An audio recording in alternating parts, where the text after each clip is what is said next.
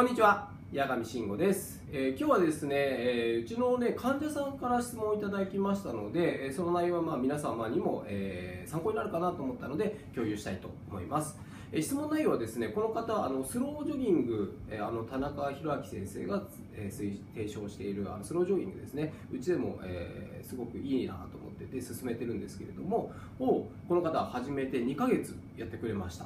で最初はですね少ししかあんまり走れなかったんですけれども今では連続して15分走れるようになりましたと。で今回の相談としては、まあ、以前よりね走れるスピードも上がってきて速く走れるようになったんですけど今度はねスピードが出過ぎてしまってハーハーしてしまうと。でこのような時って、え息が整うまで歩いた方がいいのかそのまま走っていった方がいいのかどちらが良いでしょうかという質問をいただきました。はいありがとうございます、えー、これについてですね答えとしては、えー、息が整うまで歩くもしくは、えー、走るスピードを落とすっていうことが正解です、えー、スロージョギングってポイントが3つあります。でこちらでまとめたんですけれども1つがホームですね。正しいホームで走りましょうね。って、えー、いくつか5つぐらい約束事があります、えー、その次がですねスピード。で下が量時間なんですけれども、えこの、え質問者の場合はこのスピードですね。速さ。えこれってどんな速さがいいのかっていうのをもう一度おさらいしましょう。スピードはですねもうこの一言ですね、えおしゃべりができるスピード速さ。で走ることです。ということはですねハーハーしてはいけませんと、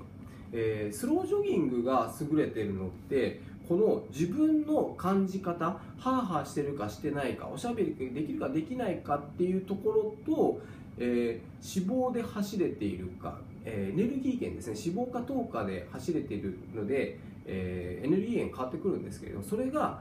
え自分の感じと、え一致する相関関係があるっていうのが優れていてそのハーハーしないで走ると脂肪が使えて心臓にも優しく体にも優しいというのが優れているところなんですね。でこの、えー、患者さん質問者の方は、まあ、ハーハーするまで走れちゃってきちゃったんですけどこれをやり続けてると脂肪じゃなくて糖を使うようになってしまうので疲れてしまうと。そうすると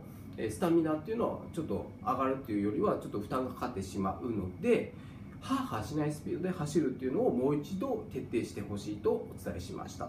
結構これ走り始めて同じぐらいですね。2ヶ月ぐらい経ってくると陥りがちな罠というか走れるようになっちゃうからハーハーするまでなんか走っちゃうっていう何ていうんですかね昔の体育症候群っていうんですかねにかかりがちなんですけれどもそうじゃなくてスロージョギングっていうのはハーハーしないスピードこのスピードの、えー、もう一度おさらいしてみたらどうかなと思いましたよ